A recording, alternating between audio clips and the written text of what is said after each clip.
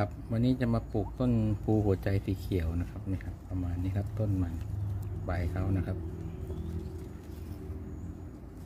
เดี๋ยวจะมาปลูกเกาะหลักเนี่ยครับ เดี๋ยวเอาในนี้จะใส่ปุ๋ยมะพร้าวตับนะครับ ใส่แช่น้ำปุ๋ยมะพร้าวตับแช่น้ำใส่นะครับเดี๋ยวเรามัดนี่ภูไปที่หลักนี่นะครับดินที่ปลูกนะครับ แล้วก็ใช้ใบก้ามปูหมักนะครับ อันนี้คือใบก้ามปูหมักนะครับ ใบก้ามปูอย่างเดียวเลยนะครับ แบบผมหมักทิ้งไว้ประมาณ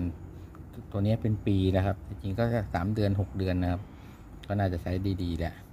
แล้วก็มะพร้าวสับอย่างละส่วนนะครับ หรือว่าใครจะใช้มะพร้าวสับอย่างเดียวก็ได้นะครับ ส่วนใหญ่ก็มะพร้าวสับเดียวก็ก็โตดีเหมือนกันนะครับ แต่ผมใส่นี่รู้สึกมันจะงงามดีนะครับ ก็เลยใช้อย่างละส่วนแล้วเดี๋ยวเรามาคลุกเคล้าให้เข้ากันแล้วปลูกนะครับครับ แล้วก็หาภูแล้วก็หาเชือกมามัดนะครับ มัดภูไปที่หลักเลย แล้วค่อยๆมัดไป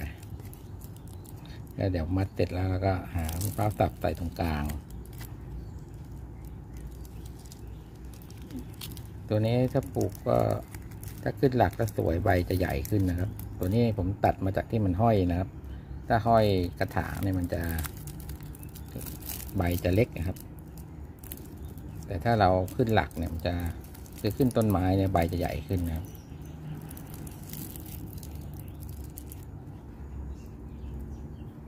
แล้วก็ค่อยๆมัดไป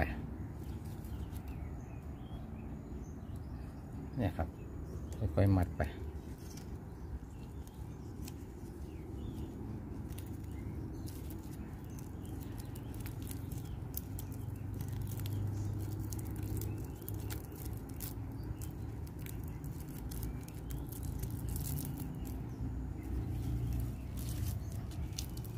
เดี๋ยวผมมัดเสร็จแล้วผมจะอัปเดตให้ดูอีกทีนะครับ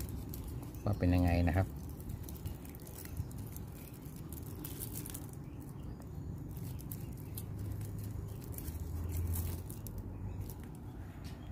นี่ครับ พอเสร็จแล้วก็มัดให้ได้อย่างนี้นะครับ ประมาณนี้ครับแล้วเดี๋ยวเราปลูกกันครับ ดินก็อย่างละส่วนแล้วก็คลุกเคล้าให้เข้ากันนะครับแล้วเดี๋ยวปลูกกันครับ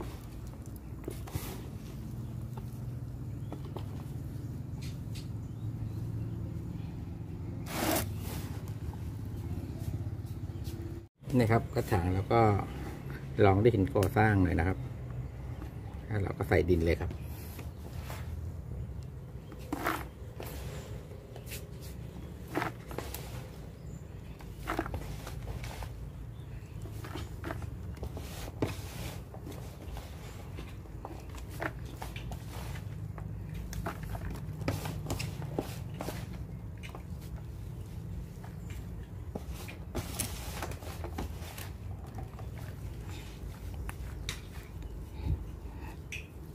แล้วก็เอา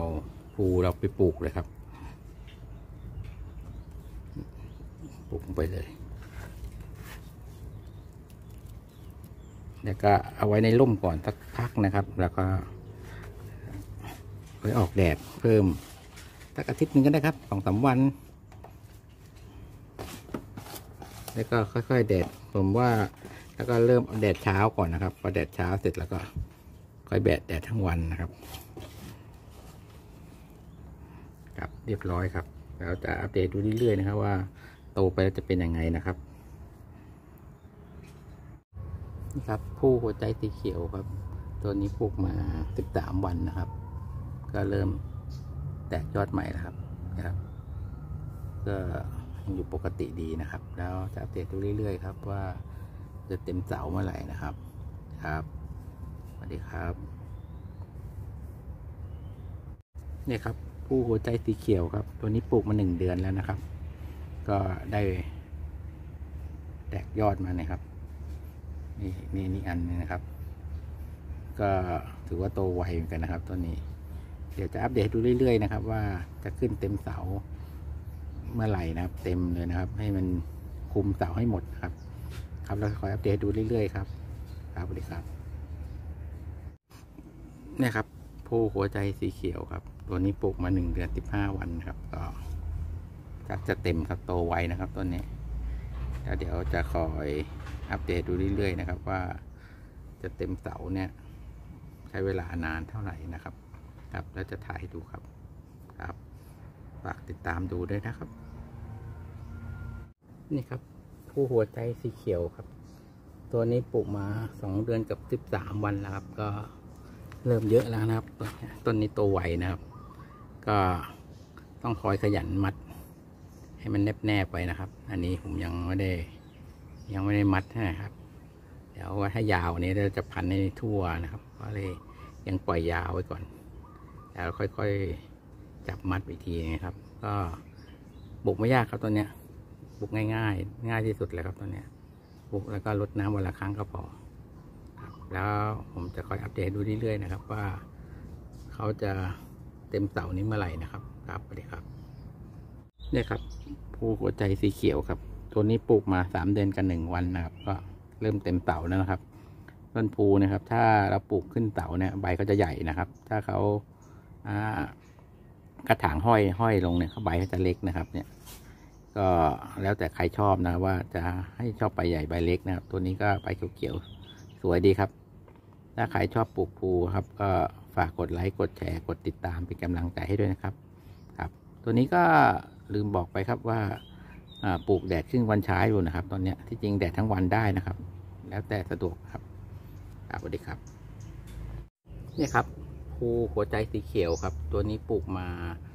สามเดือนกับสิบสามวันแล้วครับ ก็เนี่ยครับ ก็เต็มเสาเต็มต้นเสาหมดแล้วครับตัวนี้ ก็พวกนี้ปลูกถ้าปลูกขึ้นเสาเนี่ยใบเขาจะใหญ่นะครับ ถ้าห้อยเนี่ยจะใบจะเล็กเนี่ยครับใครชอบปลูกต้นไม้ก็ฝากกดไลค์กดแชร์กดติดตามเป็นกำลังใจให้ด้วยนะครับ